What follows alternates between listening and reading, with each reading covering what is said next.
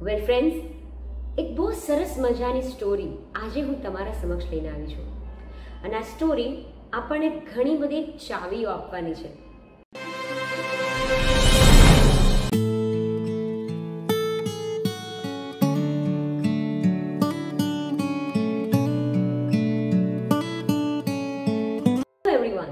welcome back in yet another episode of our wonderful show, Saksham Unleash the Power Within. Well friends એક બહુ સરસ મજાની story આજે હું તમારા સમક્ષ લઈને આવી છું. અને આ સ્ટોરી આપણને ઘણી બધી ચાવીઓ આપવાની છે. એકવાર એક ખૂબ સક્સેસફુલ ધનવાન વ્યક્તિ હોય છે. એની પાસે હર એક સક્સેસ હર એક લક્ઝરી હર એક સુવિધા and you know all the things which actually everyone dreams to have એ મોજૂદ હોય છે. પણ થોડા ટાઈમથી એ બહુ ઉદાસ રહેતો હોય છે. He was not very happy એવો કોઈ મોટો સ્ટ્રેસ કે પ્રોબ્લેમ પણ નથી હોતો લાઈફમાં પણ ખબર નહીં. કંઈક રીઝનના લીધે he was not happy so once a talk with his friend એના એક મિત્ર સાથે વાત કરે છે અને આ ચર્ચા કરે છે કે મને ખબર નથી પડતી કે હું ખુશ કેમ નથી. અને આ જ વસ્તુ સાંભળીને એનો મિત્ર કહે છે કે કદાચ મારી પાસે તારા સવાલનો જવાબ નથી. પણ હું તને એક એવા વ્યક્તિ પાસે જરૂર મોકલી શકીશ જે તને મદદ કરશે આનો જવાબ શોધવામાં.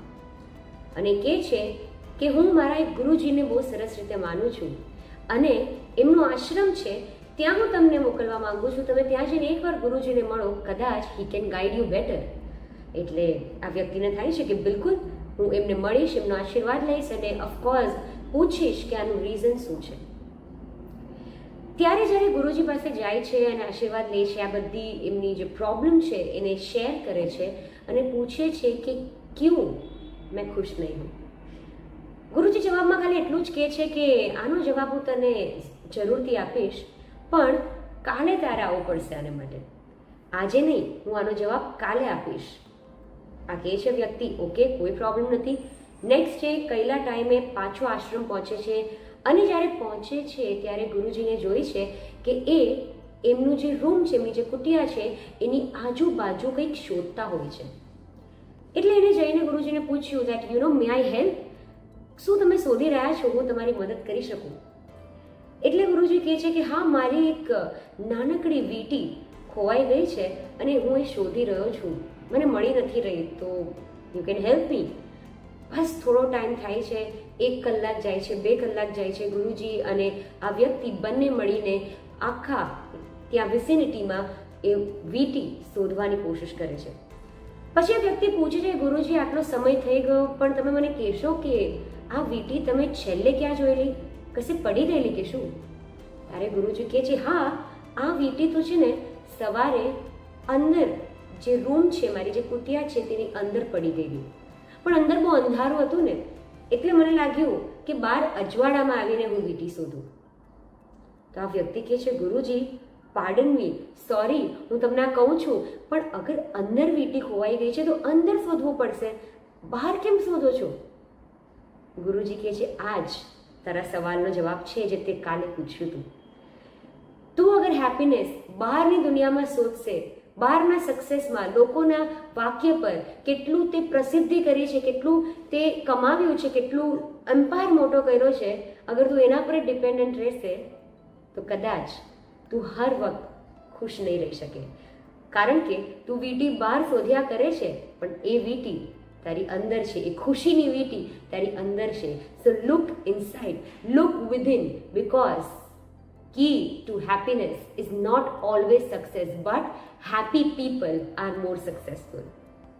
Yes મિત્રો, તો અગર સક્સેસની પાછળ તો જવાનું છે, પણ એટલું એટલું આંધળી રીતે નથી જવાનું કે આપણે અંદરની હેપીનેસ ભૂલી જઈએ.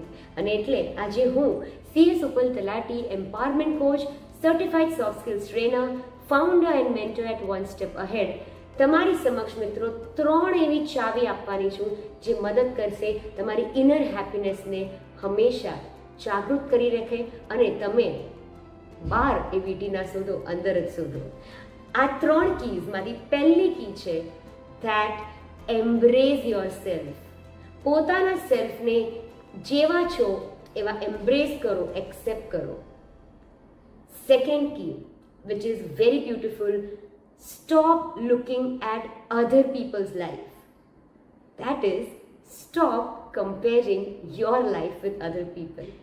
કારણ કે બહાર આપણે જ્યારે લોકોની જર્ની જોઈએ છે અને પોતાની જોઈએ છે તો વી ટેન ટુ કમ્પેર યદि એ બંધ કરશું ને તેઓ જ અંદરની ખુશીને આપણે ડેફિનેટલી જોઈ શકશું અને third which is very important don't be an addict to the destination you have to focus on the journey ઘણી બધી વાર આપણે જે અચીવ કરતા હોઈએ છીએ, એના બારામાં જ વિચાર્યા કરીએ છીએ but we don't focus on the learnings and growth during the journey so યદી એના પર ફોકસ કરશું, આપણા જર્ની પર, આપણા એફર્ટ્સ પર, તો ડેફિનેટલી એ એફર્ટ્સ પણ, નાના નાના એફર્ટ્સ પણ આપણને ખુશી આપી શકશે.